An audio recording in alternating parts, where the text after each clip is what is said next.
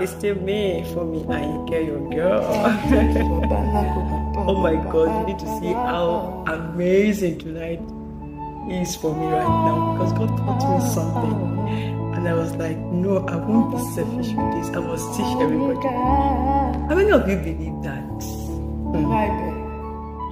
Okay, maybe I should start this way.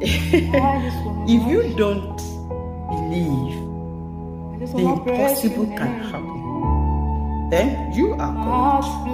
Mm, oh my God, I started again. Listen to this, guys. If you feel like you are less than others, you are still correct.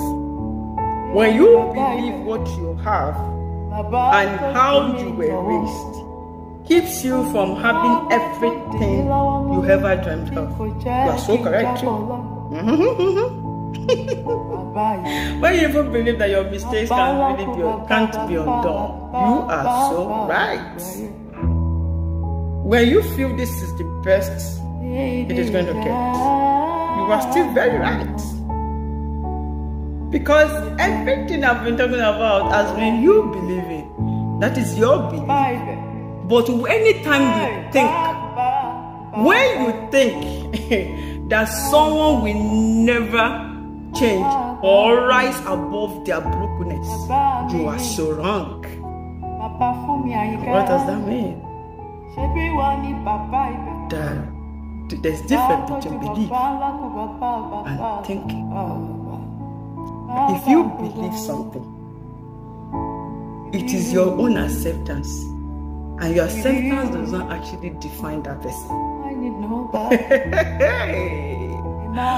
your belief is you accepting something as true based on your own intuition, on your own opinion, on your own trust, what you believe in, your environment, what you have about the person makes you actually think that this person is this is the limit the person can get to.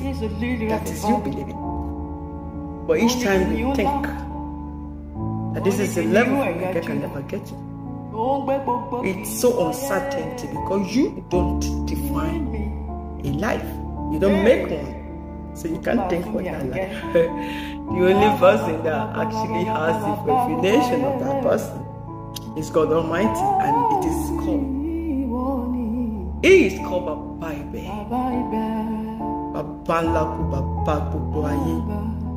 The master of the universe. Creator of heaven and earth. Only him has the money. Oh Come on, guys.